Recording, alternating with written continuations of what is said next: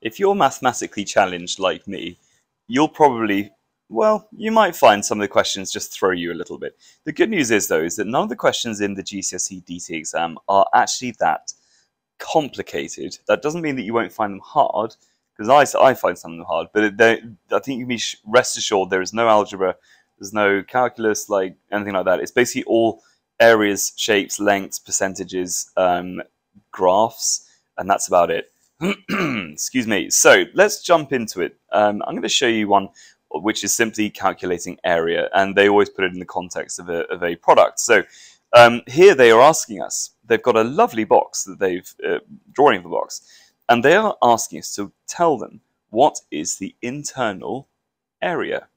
So on the inside of the box, what is that internal area? No, not volume, just the area. So the way that we would calculate that is as follows. Well, I mean, the good thing would be for you to have a go at this first, and then um, you see if you got the right answer. First thing, or the way I would go about doing this is, um, and, and for the record, you can doodle on diagrams as much as you want. In fact, they, they almost expect you to. So to obviously for area, the formula is um, width times length. So for the external area, we've got the 300s here, which is fine, but we need the internals. So, be able to, so to be able to get the area, we need to find out what is the internal length, lengths here. So let's call these x and y. We've got to find out what they are. In fact, we don't even need to because x, we have x1 and then x2 because they're the same dimension. Okay, so how do we find out the internal length? We know we've got 300. We've got this little chappy here, 15 mil, and that's the thickness of the material. Now, the more observant members of you will notice that there's material on both sides, and it, we can assume it's the same thickness because they've not given a different dimension. So, all we need to do is to take 300 millimeters and then subtract it by 15 times 2. So two lots of 15 will then give us that internal dimension. So I'm going to do that down here. So, excuse me, step one, I'm going to do 15 times 2, which equals 30.